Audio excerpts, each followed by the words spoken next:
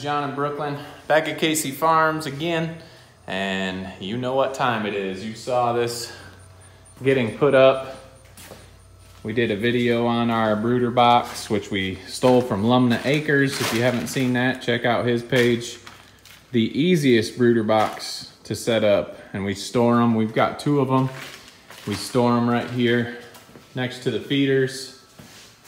The only negative that I would say about this brooder box is the dust and the stink in the garage. So if I had a perfect world, I would just uh, make an outdoor brooder box and then you don't have to smell it. But on that hand, it's more about the dust than the smell because we clean it out. And I feel if we had one outside, we'd probably neglect it a little bit because you're not out there every day. So this helps us keep it clean. We've got the water with the apple cider vinegar in it. Got a little feeder there. Jamie will be excited. She bought this a while back and we've never used it yet, but it's perfect for what we have now. We did not order any chicks, but if you remember in the last couple videos, um, we lost a lot of our Welsummers. Welsummers. Yes, we lost Big Red. So we grabbed every brown egg we had and we threw them into an incubator because we want to replenish our flock. We've probably only got about eight or nine Welsummer chickens left. The other two are the speckled Sussex, and there are some of those eggs in here, but they have started hatching. So we've got, oh, how many we got in there? One, two, three. We got six hatching, hatched. We've got one hatch in there and a couple. Oh, good. The brown ones are starting to peck out. We haven't seen any action on some of the brown ones. They're starting to peck out. So we're gonna grab and you these. can't actually tell when they're very little because they're and that one that's on the legs are only a little bit dark. Yeah. But when they start getting a little bit older, their legs will get more Yeah. dark. So go ahead and grab those, Brooke, and let's start putting them over. Guys, always remember, dip your chicks' beaks in the water. and then they figure out the rest from there. You gonna grab two or three? Two. All right, I don't want to drop them. let's get those back. Always exciting to have new life, especially when you hatch them out yourself. Just 21 days and you have new chicks. Make sure you dip them in there.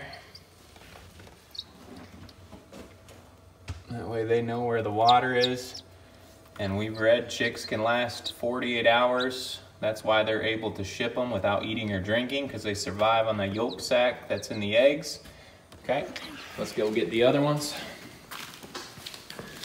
So yesterday we butchered 20 of our meat birds. We've got over a 115 pounds. Oh, let's get these other ones. 115 pounds of meat out of those the other day. So we've had quite a busy time here on the farm.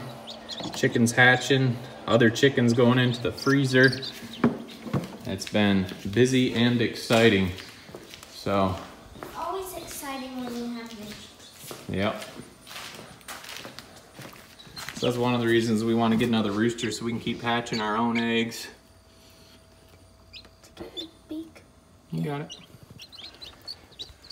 So we've just got six so far.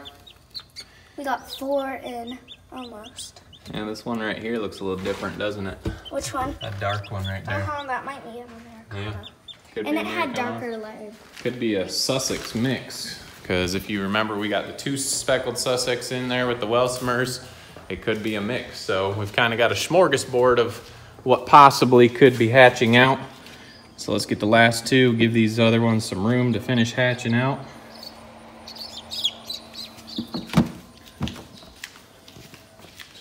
There we go. And you, if when they're um, you'll have to start checking for pasty when they're young. What's But- pasty? Tell them what pasty, pasty is. butt. It's when the poop gets crusted around their vents Yep. and they can't poop, so you gotta take a wet cloth and dip and like rub it gently, and it will f- sometimes come off. Yep. That one pecking at you? Trying to get out of my hand. All right. Last thing, we didn't turn the heat lamp on yet. Go ahead and plug in that heat lamp. picture's not as good when the heat lamp's on, so I didn't want to put it on, but we'll keep them nice and warm. It's warm out today. So, awesome. Six new birds. We got more pecking out. Says, why don't we, uh, let's grab, since we talked about butchering chicks, chickens, not chicks. Yeah, you Uh, don't want to butcher chicks. yeah. Get half of like tiny little. Get a chicken nugget. yeah. Grab one of those and let's show them. Which one? Just grab one, it don't matter. All right, so here we go. There's one of our birds. We've got our labels on there, 6.19 pounds. And we're selling $3 a pound. So it's just, it's just amazing, especially in the day and time we live in where the grocery stores are going nuts and people are buying everything out and they're not able to get stuff in And that sometimes chickens are so small that it could From the store? be like yeah, and they're expensive. Too. Yeah. So there we are. We've got no antibiotics, non-GMO feed, uh, chickens from Valley Farms Hatchery. than others. yeah, we got anywhere from five to I think we got up to seven pounds this time. We butchered them right at eight weeks this time. So let's go ahead and get him back in the we freezer. didn't get any clothes. Didn't like, get any monsters, Yeah, but we like the smaller ones because they fit in our rotisserie better.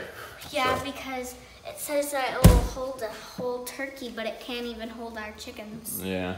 Hardly. false advertising. All right, so there's the chicks. There's the chickens we butchered. I think I talked to you guys about this last time on this uh, incubator. I just want to show you.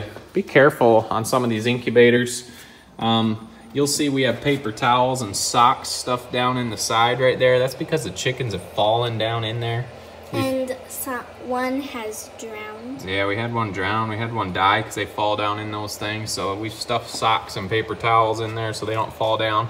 Let me get that one shut time up. we had to rescue one. Yeah. That had fell. Let me get that shut up so the humidity stays up for them. Uh, last thing we want to do today, um, we introduced Rosie to the piglets. If you've seen last video, if you hadn't, check it out. Um, so let's go check and see how they're getting along with each other back at the pig barn. Let's go.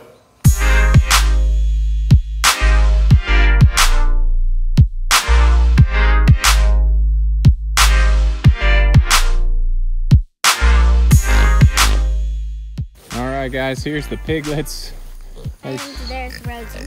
and Rosie. Of course, the big one's Rosie. Yeah, Starburst and Hershey. And back there's Jimmy. Jimmy's hanging out back there, and Rosie. You can see Rosie's still uh, showing them who's boss, but they've got plenty of room to get away, and they are a lot faster than her too. So And we have to dodge Rosie's turns now. yeah, Rosie's big turds. So everyone's getting along well. Well, maybe if you ask the piglets, they might not feel that way, but. So we just wanted to show you that. We kept them next to each other for two days. Hey, Jimmy. And uh, we spread out the food a little bit. We put roses in a bowl. The piglets are used to eating off the ground. So we, uh, um, Rosie will go to the ground and they'll go into the bowl. yeah. So we spread it out so they have plenty of time to get food before she comes and bullies them out of their food. I can't get you guys on film if you're at my ankles. So it definitely works out better. We've done it where we've just thrown in smaller pigs with bigger pigs and even if they're the same size, they still argue to figure out who's boss. So, but it definitely works better sharing the fence And our, Girls are more feisty than when you put the boys. that's like real life, isn't it? I. I think so. So there we go. There's Rosie and the three amigos, Jimmy, Hershey, and Starburst, and they're going this weekend to their new homes.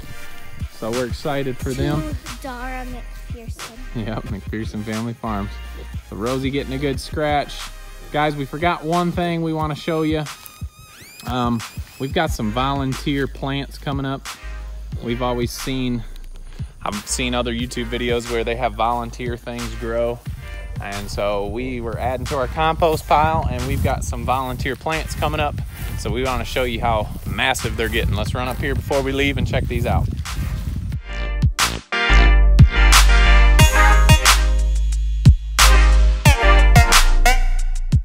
Here is our compost pile. you can see, I'm assuming this is a type of squash. But we do not know for sure. Thought that was something. And our we've got one corn stalk. We haven't been able to grow corn in the garden, but we've got a massive corn stalk. Obviously, we'll get nothing off of that, but it's just kind of cool. And look at the size of this squash. We won't get anything off of it because it can't cross pollinate because there's no other corn stalk. There you go. Um, these Find me a- bushes right here. Find me a squash in there somewhere. There's something out here. There's one. We don't know for sure if it's squash. Yeah, we think so. Yeah, but we think so. So, So it's just massive. Here's a big one in here. Compared to the ones we're getting in our garden, this thing is just huge. So we were pretty excited about this. And a lot of our stuff just goes to the pigs. So this may end up going to the pigs or we'll use it. Jamie makes a mean zucchini bread, so we always enjoy that. But just wanted to show you that. Something new that we've never had on the farm yet. Like the pig ate something and then the poop went in the pile and then the seed grew. Could be. Could be. It'd always be fun to figure out where that seed come and follow that journey all the way here into our compost pile, see how it happened. But well guys, thank you for watching. If you haven't already. Make sure you like, subscribe, and check us out on Instagram and also Facebook. All right, we'll see you on the next video.